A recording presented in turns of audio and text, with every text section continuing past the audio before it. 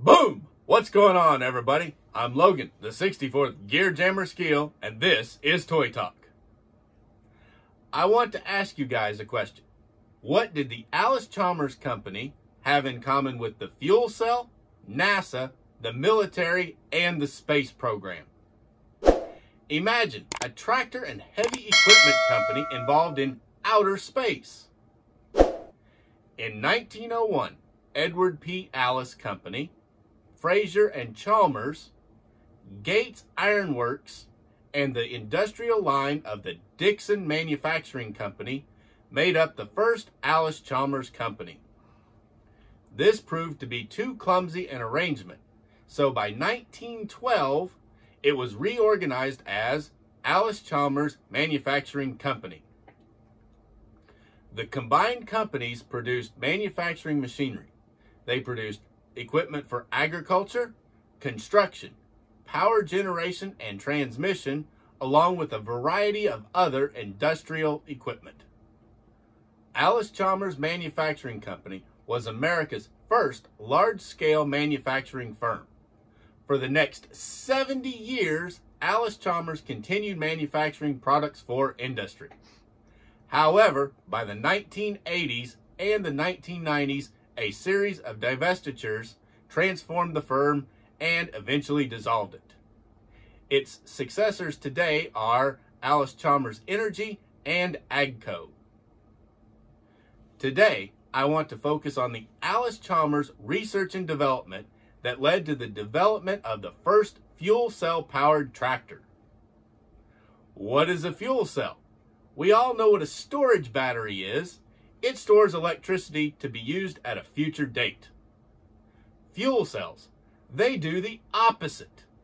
They produce electrical power directly through a chemical reaction.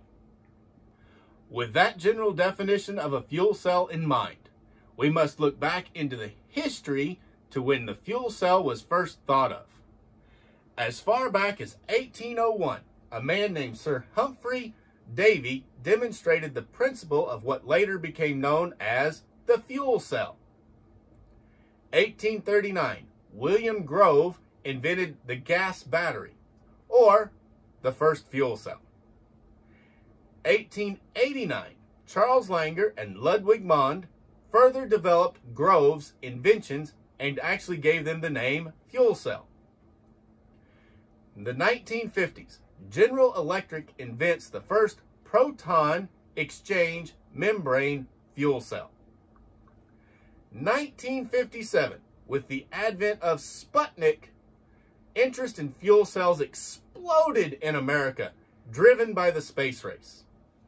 1958, Allis-Chalmers developed a fuel cell that produced enough power to light two 15-watt light bulbs. And then 1959 was a pivotal year for fuel cells. 1959, Francis Bacon demonstrated a 5 kVA alkaline fuel cell. This brings us to October of 1959. This month is when Allis-Chalmers demonstrated the first vehicle powered by a fuel cell. It was a farm tractor. Allis-Chalmers researchers continued to pursue the development of fuel cells and began an aggressive program for the Apollo fuel cell contract. They lost out to Pratt & Whitney, unfortunately, because Pratt & Whitney had secured the rights to the Bacon Cell 9. However, this didn't stop Allis-Chalmers. As Allis-Chalmers continued to develop fuel cells and vehicles for NASA and the military. 1960, NASA used the first fuel cells in space missions. Also in 1960, the first fuel cell powered forklift was built by Allis-Chalmers. Moving up to 2009, New Holland presents its first fuel cell powered tractor to the world, bringing the technology of the experimental Allis-Chalmers tractor of 1959 back to the forefront of research and development. 2018, Toyota puts Allis-Chalmers technology on the market with their version of a fuel cell powered forklift. Now that we've talked about the history of the fuel cell, let's talk more about the Allis-Chalmers and their successful role in fuel cell development. Allis-Chalmers' continuing search to develop new sources of electrical power led to the generation of electricity using chemical reactions. By 1951, fuel cells had become of interest to the researchers at Allis-Chalmers. By 1958, Allis-Chalmers researchers had a successful working fuel cell capable of lighting two 15 watt light bulbs. Not a whole lot of power, but it was a start and it proved that their equipment was sound. Now they had a working fuel cell, and by March of 1959, the researchers were looking to test it in something bigger. Their cell was composed of 1,008 individual fuel cells. The cells were joined up in 112 units of 9 cells each. The 9 cells were arranged in 4 banks that produced enough power to run a standard Allis-Chalmers 20 horsepower DC electric motor. Next came a question, how to demonstrate the fuel cell. Harry Carl Ihrig, Vice President of Research at Allis-Chalmers, had the answer. He said, put the fuel cell in a tractor. A farm tractor would be an excellent test of the vehicle. It could prove the tractive force of the electric motor for agricultural applications and the sustainability of the fuel cell to provide the electrical energy needed to run a 20 horsepower electric motor. In October of 1959, near West Allis, Wisconsin, the fuel cell powered tractor successfully plowed a field of alfalfa with a two bottom plow. The tractor weighed 5,270 pounds and had a drawbar pull of 3,000 pounds. SpecCast, they made a 1 16th scale model of this revolutionary experimental Allis-Chalmers tractor. And they made it in a very limited run only for the 2004 Orange Spectacular Show in Hutchinson, Minnesota. This is the Allis-Chalmers fuel cell tractor in 1 16th scale that SpecCast made for the Orange Spectacular Show. They made this model in all resin. That way they could make such a limited run and never use the tooling again. The fuel cell tractor is a very complicated chemical reaction, but the workings of the actual tractor are very simple. Let's start off down here. Underneath the tractor, we have the gas supply tanks. There's two here, and there's two more here, and there's another tank on the back. Then we come up here on top and we get to the electrical controls. And this right here is the controls that gave it power. It went forward if you turned it one way, it went backwards if you turned it the other way. Electric motors are great. They don't need transmissions. You just turn them on and they go. And you reverse the polarity and it goes backwards. Very simple systems. Also up here, we have the gas control valves and the electrical meters and the gas meters up on the dashboard. Being the experimental, there's actually more gauges than they had intended just for the researchers. And then now we turn around over here to the uh, real heart of the machine, the fuel cells. These individual pieces here are the actual fuel cells right there above these tubes. And then on top of the fuel cells, there are electrical connectors which connect the fuel cell to the electric motor, giving it power. Also, I forgot to show it to you, we have the electric motor. This was a 20 horsepower electric DC motor that Allis-Chalmers made, giving this tractor 20 horsepower. Also, you can see it up here the driver would straddle it when he was sitting in the seat. SpecCast also made a very nice seat and steering wheel for this tractor. Now, back to the fuel cells.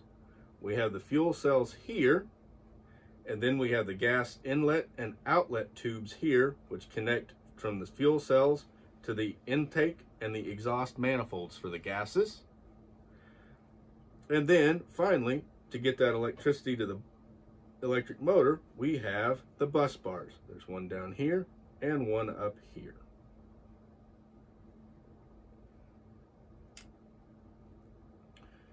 Then turning this guy to the front, for an experimental, they went and made actually some pretty nice decoration and they included headlights. When SpecCast made this, they put the panel on on this side so that you could see what the tractor would look like with its panels all closed up. But because this is such a unique tractor and the uniqueness is under the hood, they left the panel off on this side of the tractor to show off the fuel cells. Also, when we come around to this side again, we have the steering linkage which connects all the way up to the front axle. And there it is, guys. The Allis-Chalmers fuel cell tractor that was made by SpecCast for the Orange Spectacular Show in all resin. It's a beautiful 1 16th scale model. Using a fuel cell to produce power was not a new idea in the 1950s. Over a century earlier, Sir William Grove originated the idea of a fuel cell that would run on hydrogen and oxygen to produce electricity. Through continued research and development, fuel cells continued to become more efficient and cost effective. Today's fuel cells have found limited commercial use in powering electric forklifts and electric pallet jacks, along with other small portable equipment.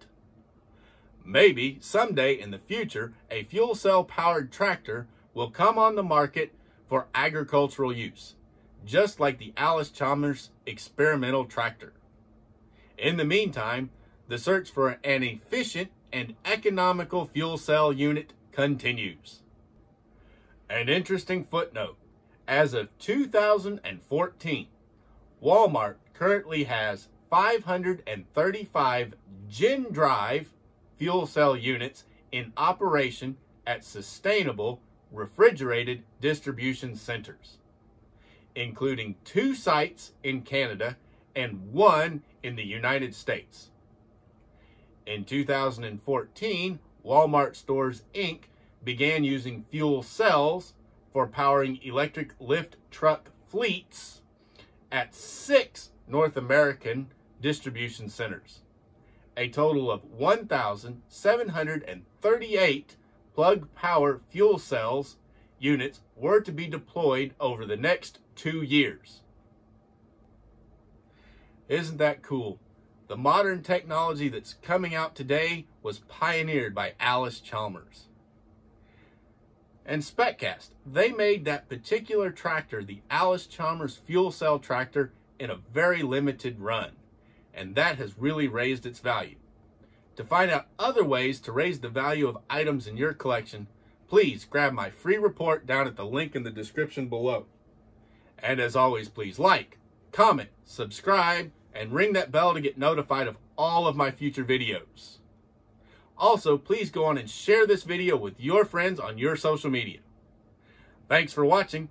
I'm Logan, the 64th Gear Jammer Skeele, and this is Toy Talk.